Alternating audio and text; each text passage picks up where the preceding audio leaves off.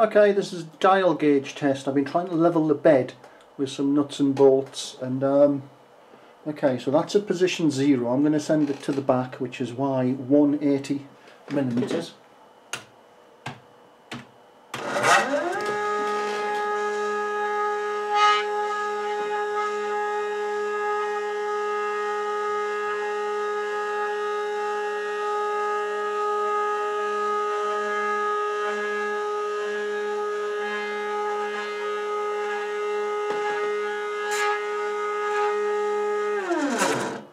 It's not bad, but you saw it moving near the black markers on the top of the dial gauge here and here. Well, that's 0.1 of a millimetre each side. So the surface of this piece of white melamine isn't actually flat, that's the problem. Uh, let's go to X180.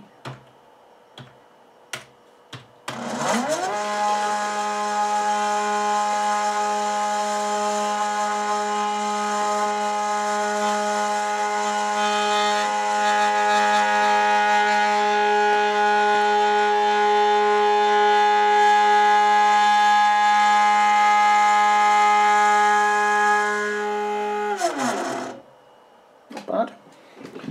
Why not?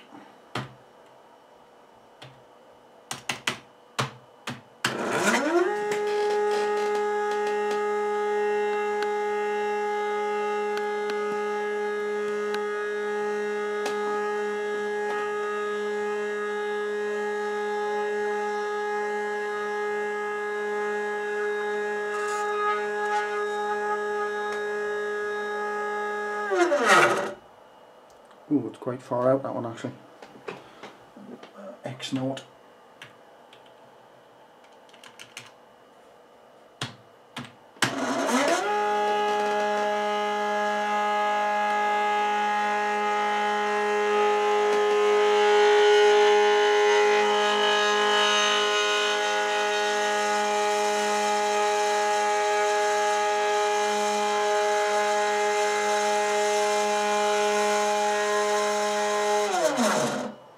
So that's not too bad. I'm going to do the front right corner. It's a bit of an iterative process every time you fiddle about with one of them it seems to affect the other ones. But that's not all that surprising. I'm going to need a flatter bed if I'm going to mill PCBs uh, on it. But uh, that's work in progress. And the other thing is, at the back there, I've added these uh, brackets across here to stiffen it up a bit. Because um, it was flexing a bit. I've got it on all this foam white foam rubbery stuff to um, isolate it from the table. So it doesn't make quite such a racket and upset the neighbours. Um, and um, when I lifted it up by the front here I wonder if I can do it. You see the dial gauge moving? So the whole thing that's moving by uh, 0.05 of a millimetre. That's 50 microns flex in the frame. Well it was going about 150 so this these brackets have stiffened it up quite a lot. Um, and the other thing to mention is I've been using this stuff on the screws, uh, on the lead screws back here.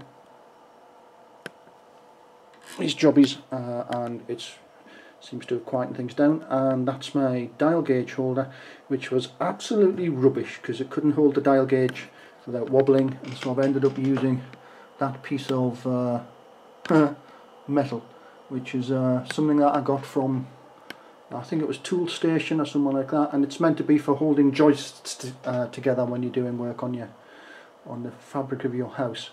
So um, there you go that's a that's the CNC machine today. Um, it's getting there. I'm going to get a piece of machined metal which is flat to within a few microns um, surface or at least you know within 50 micron or something like that flat so that I can uh, mill PCBs on it and that'll be one of the next jobs. So there you go